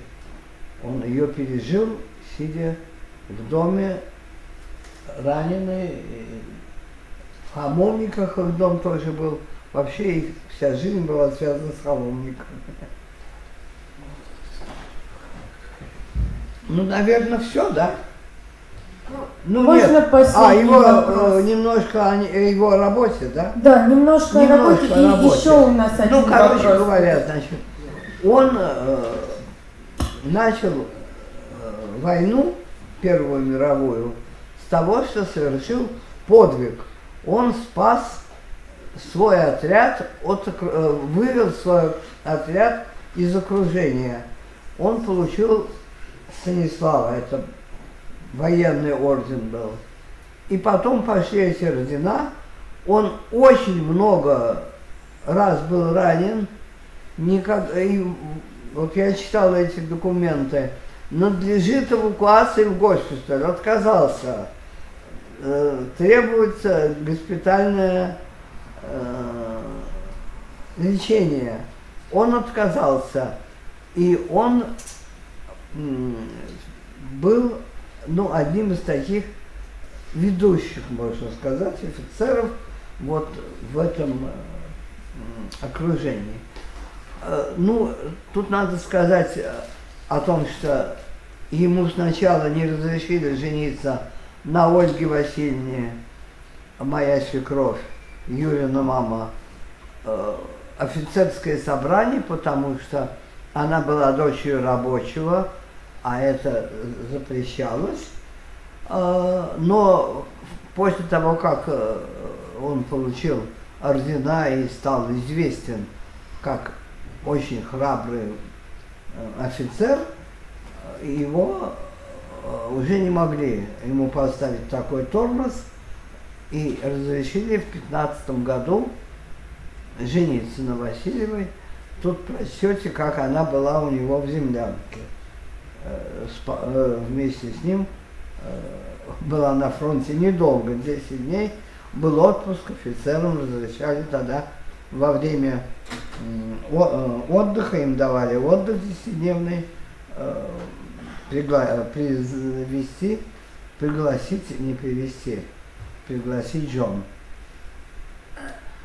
И вот э, так о нем, да, и когда началась гражданская война, он уже пошел на фронт, не очень еще даже хорошо подлечившись, потому что начал, это был 18 год, май месяц, началось Деникинское э, наступление, вокруг Царицына завязалась вот эта вся заварушка. И он пошел, э, опять же, записавшись в Хамовнических казармах, формировался первый особый полк. Нет, первый красный полк забыла особого назначения. Особое назначение, это значит, э, они должны были разбить Деникинские части. Вот. Он сразу стал э, командиром отряда, а потом его э, заметил Иван э, Николай Ильич Подвойский, э, секретарь, председатель Высшей военной инспекции, и перевел его на работу в Высшую инспекцию, и так он стал известен э, уже широко в Красной армии как организатор, и э, он много очень воевал под э, Царицыным, удачно воевал и организовывал там части и все. И, ну, если так просто для интереса, первый разговор, первая встреча его со Сталиным, с которым он потом, ему пришлось много работать, и Сталин его прекрасно знал, и тем не менее подписал ему смертный приговор. А, нужно было вывести патроны из э, из Камышина. Камышин – это город выше Царицына, на Волге. И послал, э, вот, э, высшая военная инспекция послала Базилевича почти безоружного, почти без всяких средств, на чем вести э, эти патроны, которые там лежали без толку. Но он все организовал, он вообще, видимо, был очень хороший организатор и умел как-то с людьми, вот, э, ну, умел разговаривать с людьми. Он организовал перевозку патронов по Волге, которая уже в трех местах была захвачена казаками. А казаки в это время перешли, вот часть, одна казачья, перешла э, на, на сторону белых. И вот он привез в Царицын, который задыхался ну, в кольце буквально уже, может быть, ну неизвестно, как бы все, конечно, там разыгралось, но, во всяком случае, без патронов они бы там долго не продержались, наверное. Он пришел и явился в Ставку и доложил Сталину, э, что он привез из э, Камышина патроны. Сталин сказал, патроны – это очень хорошо. Но вы ведь офицер, а это Деникин сказал, он тоже кончал военное училище, которое кончал Киевское, которое кончал Базилевич потом, через 10 лет. По выправке э, воспитанников военных училищ можно было узнать э, в любой одежде. Артем сказал, что моряков хоть поповскую рясу надень, все равно моряка узнаешь. Вот э, перекличка такая. И он сказал, посадить его на баржу. А посадить на баржу это было решение ЧК Царицынского и э, штаба, что всех белых офицеров, бывших белых офицеров и царских офицеров, значит, разница белые, кто принимал участие в боях, а царские это те, кто в боях участие на стороне белых не принимал. Так вот, царских офицеров тоже. Его туда он хотел запихнуть. И кто-то сказал, товарищ Сталин, а он коммунист. И Сталин сказал, коммунист, тогда пусть докажет это дело и возьмет станцию Лог. А Лог уже была почти сдана, и вот это было его первое такое э, действительно серьезное очень дело, когда он показал себя прекрасным организатором, и это увидел Подвойский, и Подвойский вот его тогда вытащил в эту военную инспекцию.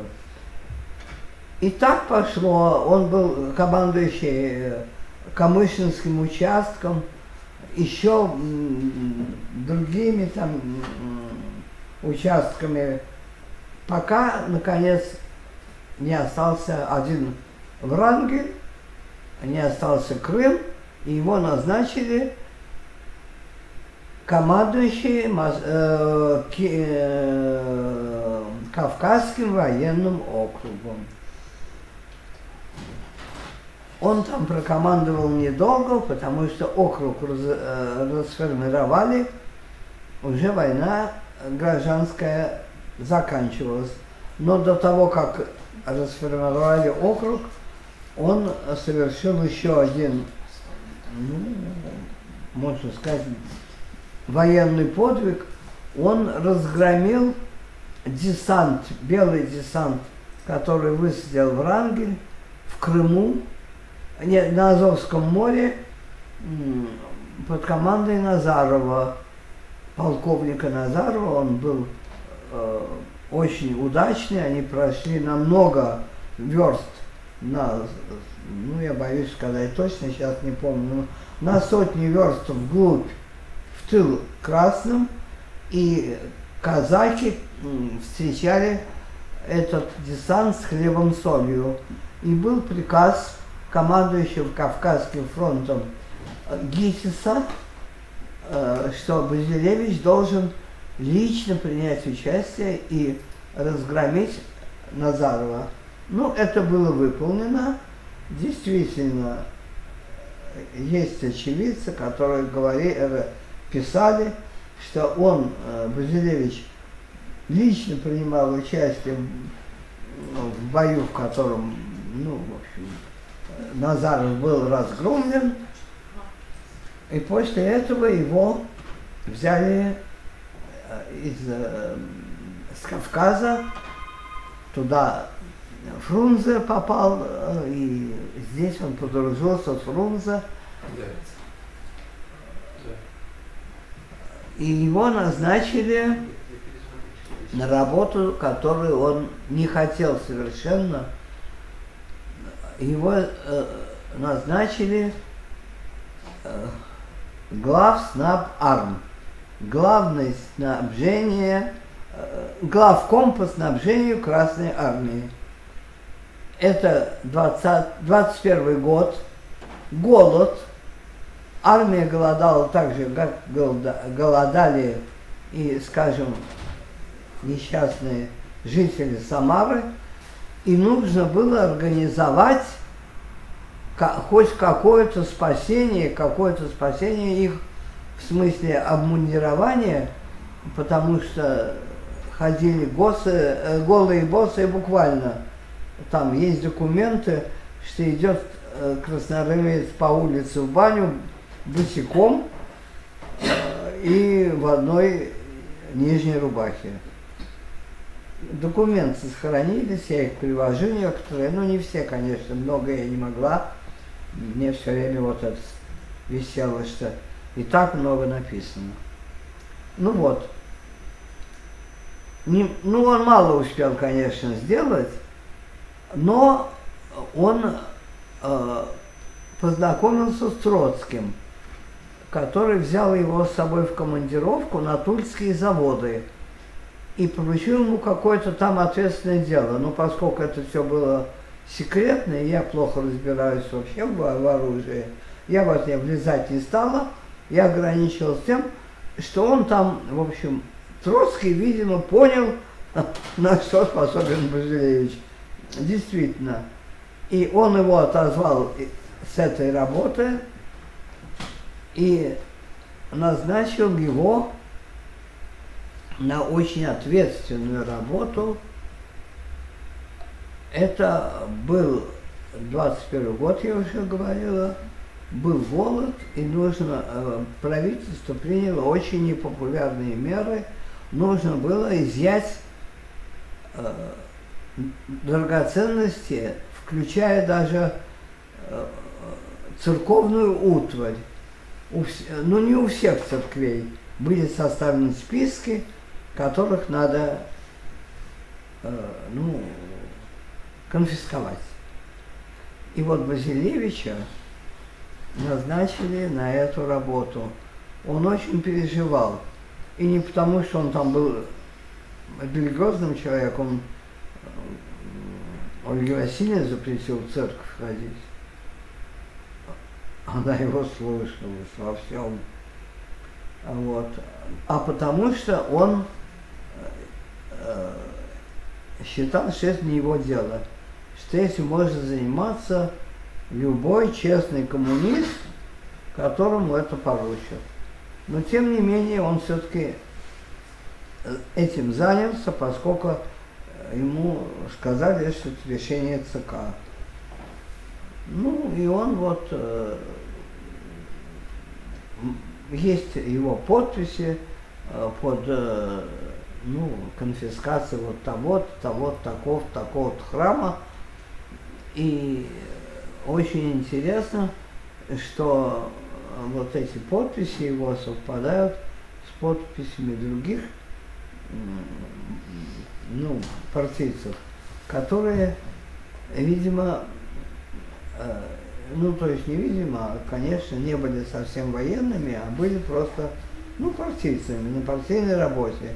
Для них это было очередное партийное, очередное партийное задание, а Базилевича назначили в это время начальником Гохрана. Гохран – это хранение всех сокровищ России. Сейчас в историческом музее я никак не доберусь, а говорят, интересная выставка, советую, кто может, посмотреть. Выставка исторического музея совместно с Гохраном.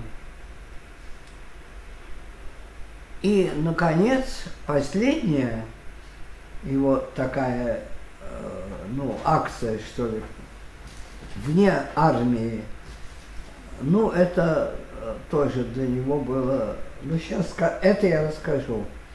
Значит, с началом империалистической войны царское правительство постановило эвакуировать все царские сокровища, а их было немало, как известно, в Москву, поместить их в Кремле в оружейной палате.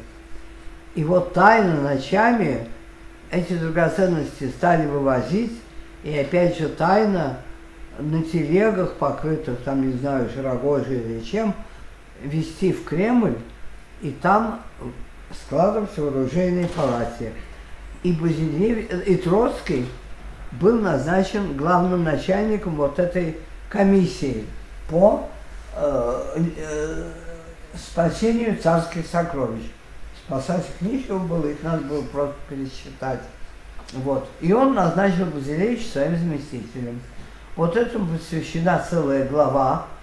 Там очень интересные есть моменты о том, в каких условиях происходила эта работа, какие там были призваны люди.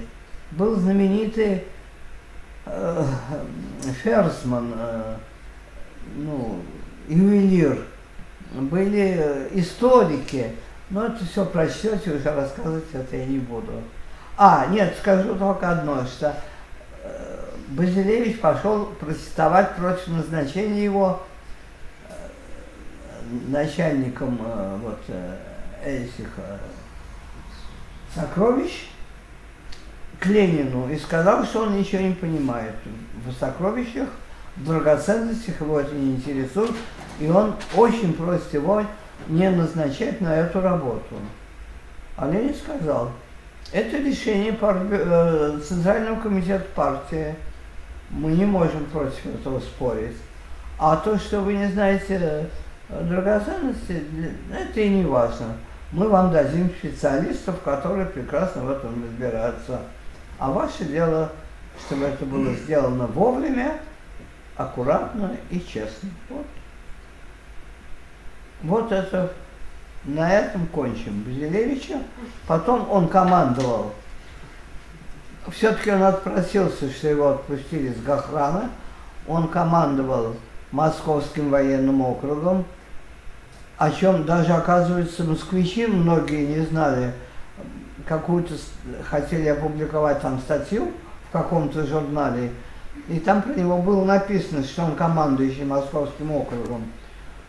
Редактор сказал, такого командующего в Москве не было, в Московском округе не было. Ну, его послали в энциклопедию, он убедился, что был. Потом командовал он Приволжским военным округом, то есть вернулся на Волгу. Он тоже к Волге имел отношение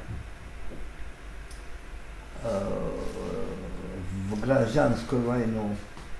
И, наконец, его сня... э, сдернули с э, этого командующего округом и назначили главным комисс... э, сейчас. Ну, забыл слово.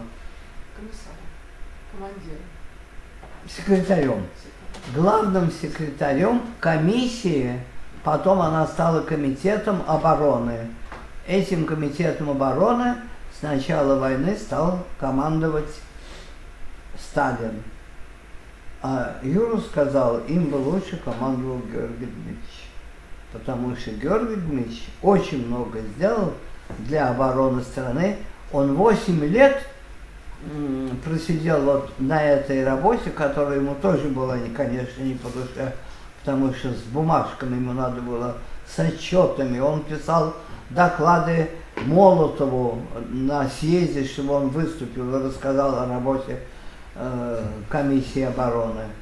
Вот. Ну и последнее что он заслужил, Базилевич? В 1938 году летом на даче у Молотова собралась вся верхушка, Молотов давал прием, ну, банкет. И на этот прием был приглашен Базилевич с женой Ольги Васильевны. И когда э, там пили здоровье что-нибудь, э, этот человек должен был подойти к Сталину, если он был с женой, то с женой, и чокнуться, и Сталин пил здоровье вот. И Сталин предложил выпить здоровье Георгия Дмитриевича. Он с Ольгой Васильевной подошли они к Сталину, и Сталин, не обращаясь к Базилевичу, обратился к Ольге Васильевне. Ольга Васильевна, а вы знаете, какую работу выполняет, ответственную работу выполняет ваш муж? Во Франции на такой работе был генерал Жофр. Ну, не знаю, знал ли. Нет, знал Базилевич, потому что он читал иностранную литературу. Вот. И через три месяца Базилевич был арестован по списку, который подписал лично Сталин. А Сталин подписывал такие списки. За, точка, СТ. И вот этих четырех букв хватало, чтобы человека расстреляли уже без всякого сомнения, без всяких дополнительных аргументов или там дополнительных допросов и прочее.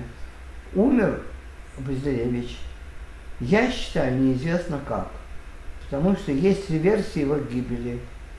Но единственное, что известно, что он был среди троих высших командиров Красной Армии, которые никого, в том числе себя, не оговорили несмотря на то, что Базилевич был очень тяжело болен. Он был диабетик, и лекарства ему не давали. И вот это один из вариантов, что он умер от того, что он не получал лекарств, а изнурительные ночные допросы были. Второй вариант, что это я вот придумала, не знаю, может быть, это и неправильно, но как-то так, мне кажется, по всему похоже, что его уже не было в живых, когда был так называемый Верховный военный суд. И что этого суда не было. Потому что, во-первых, последний, последний допрос, там подпись не Базилевича, я ее подпись очень хорошо изучила. Во-вторых, якобы э, последнее слово, произнесенное Базилевичем на э, этом суде, оно почти слово в слово совпадает с тем фальшивым допросом последним, который был, и потом не было указано время допроса. Обычно, вот я много потом, ну это уже неинтересно, это мои личные дела, что я больше ста, ой, больше ста, больше 500, наверное, дел просмотрела для реабилитации, вот для расстрельных списков. И там у каждого, кто проходил вое... высший военный совет, есть время начала суда и конец. 15 минут, чтобы этого хватало им. А у Базилевича этих минут нет. И вот поэтому я сделала вывод, что вообще его уже не было в живых. Или он был настолько уже измучен, даже следователь при реабилитации, э, его, э, который вел дело Безлевича, спросил у этого, который вел дело э, это, расстрельное, спросил, били ли Базилевича. Он сказал, он так себя чувствовал, что его нельзя было тронуть пальцем. Он бы умер от первого же удара. То есть, или он был доведен до такого состояния, что он не присутствовал на суде, а действительно он не мог, его на, на носилках носили, или его уже не было в живых. Вот. Но я все-таки согласился признать смерть официальную, которую они считают в этой бумажке. Все. Спасибо за внимание. Уважаемые гости, я бы еще хотела попросить Нину Михайловну рассказать про творческий вклад Ну, спросите, что еще. Давайте я вам одной расскажу, если народ уже устал. Вы хотите еще продолжать? Хочет слушать, останется. Кто не хочет, я не обижу, даю честное слово. Потому что на самом деле у меня есть еще вопрос к вам. У меня есть еще вопрос к вам. Я бы хотела попросить вас рассказать про конец 50-х, 60-е.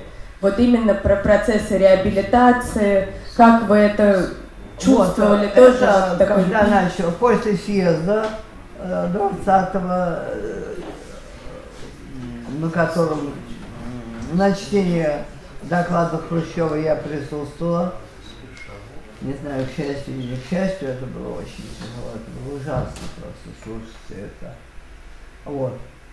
И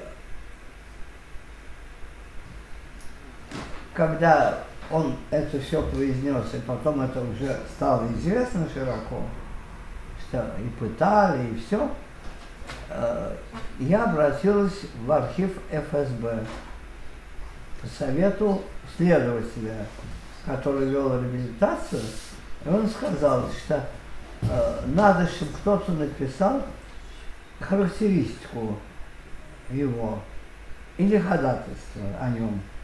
И вот два поэта, э, Михаил Светлов и Сергей Городецкий, написали такие ходатайства. Ну, потом уже стали реабилитировать и без ходатайств. Просто уже всех подряд, кого не реабилитировали в 60-е, 70-е. 80, 88-87 году началась вот эта массовая реабилитация. Ну что, дали дело. Часть дела зашита в конверт. Его нельзя прочесть. Непонятно, что там. Ну, вы не видели, это был донос а? или это была собственная инициатива? Это был донос чей-то? Или вам не удалось это узнать? Это был донос. Это был донос. Он был по доносу арестован или какая-то там собственная? Расскажи про историю с Берией, как Базилевич с Берией поругался. Базилевич поругался с Берией? Ну, когда он, когда он Берию не пустил на какое-то заседание, помнишь? Это Иска... Берия Калинина. Что Нет, про Берию ты мне рассказывал. Ну ладно, хорошо. Ну, расскажи, почему его арестовали? Почему это донос был или что? Ой, слушай, вот этот вопрос может задать человек, который не, не прочел ни одной книжки про реабилитацию, ни одной книжки про ГУЛАГ, он может спросить, а почему его арестовали? За что? Не за что. Могу сказать анекдот. За что тебя арестовали? Ни за что. Ну не ври. Ни за что давали 15 лет, а у тебя только 10. Все. С этим вопросом никогда больше не обращайся. Никого ни за что не известно. Понятно? Одному приписали одно, другому приписали, э, отцу приписали, что он хотел расстрелять Сталина. Э, кому-то приписали, что готовил взрыв Кремля. Э, это приписали коменданту Кремля, которого Ленин назначил комендантом в 20 году. Так что, простите, вы это спрашивали, нет? Да, это я спрашиваю, это, да? там были доносы или нет? Вот что ну, понимаете, Нет, не, не было понятно за что. Не было понятно за что. И если очень честно, то не всегда даже понятно, почему реабилитировали именно по этому пункту. Потому что ну, как-то опровергнуть то, что говорили, ну, было невозможно, понимаете, это э, кто-то сказал, что кто-то слыхал, понимаете, что как будто бы, предположим, э, Артем сказал, что Сталина надо убить, ну, предположим, да? Может быть, он это и сказал, я не знаю. Но этого нет. Не, опровержение, ни подтверждение. Но реабилитировали его, потому что он его не убил, видимо. Понимаете, невозможно, ну есть вещи, которые совершенно, э, ну ясно, что это чувство собачья, но то, что он был троцкистом, я верю в это. То, что Базилевич троцкистом не было, я уверена, но ему это и не пришивали, Базилевичу. Ему пришивали военно-политический заговор, свержение правительства. Хотя это, вот это чувство собачье. Но фактически его арестовали, если вы хотите, за что, вот за это. За что хотел свергнуть правительство Гузелевич. Вот, понимаете, поэтому и то, что многие вещи зашиты почему-то, меня это тоже как-то ну, тревожит. Но я думаю, что потомки разберутся.